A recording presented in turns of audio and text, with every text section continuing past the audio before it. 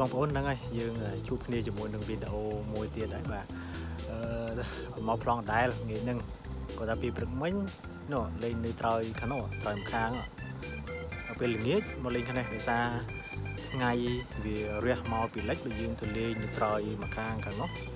វាចាំងភ្នែកពេកអញ្ចឹងយើងពិបាកគប់ពិបាកមើលនួយរត់ហ្នឹងតែមិញលេងនៅប្លង់នៅខាងនោះ ដែរតែវាចង្អៀតពេកយើងពិបាកគប់ហើយណាមួយមានមងគេដាក់នៅក្បែរហ្នឹងណាអញ្ចឹងទៅយើងគប់ទៅតាក់មងផងតាក់ព្រៃផងវារំខានហើយយើងគប់តាក់គប់តាក់អញ្ចឹងទៅអត់សុបាយដៃអត់សុបាយលេងអត់សុបាយគប់អញ្ចឹងណាអញ្ចឹងរោប្លង់ឯណាជុំវិញបឹងអត់មានមានតែមកកន្លែងចាស់កន្លែងល្ងាចមិញហ្នឹងហើយហ្នឹងហើយបងប្អូនអញ្ចឹងចាំមើលសាកមកល្ងាចនេះទៀតព្រោះឥឡូវយើងដូរនុយហើយដាក់ដាក់នុយ ដេថ្មីហ្នឹងហើយបងប្អូនចាំមើលសាកនុយលេងថ្មីណាពូដេប្រគួយដេកូនកែបលេងរួចហើយឥឡូវដាក់នុយដេហ៊ីងកូនហ៊ីងសាក់មើលម្ដងបងប្អូនហ្នឹងហើយប្លង់នេះប្លង់ងាយមិញណាបងប្អូនតែថ្ងៃនេះរោដោយសាររោប្លង់ថ្មីលេងអត់បានអញ្ចឹងណាអញ្ចឹងមកលេងប្លង់ចាស់វិញដែរអូខេបងប្អូនអញ្ចឹងចាំមើលខ្ញុំសាកគប់លេងសាក់មើលមកអូខេបងប្អូន let's go Música